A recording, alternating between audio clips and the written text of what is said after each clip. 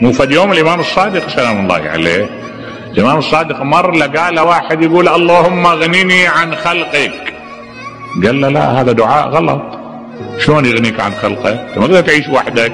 انت مدني بطبعك. أنت تحتاج واحد ينسج لك الثوب واحد يسوي لك الرغيف واحد يسوي لك الواسطة النقل واحد يبني لك دارك. وأنت أيضا مهيأ بعمل من الأعمال أيضا تسهم في بناء الهيئة الاجتماعية. ما تقدر تستغني عن الناس. مستحيل تستغني عن الناس. قال له إذا إيش أقول يا ابن رسول الله؟ قال له قل اللهم اغنني عن لئام خلقك. اغنني عن لئام خلقك. فعلا. يعني اللئيم بالواقع يحول الحياة إلى كدر.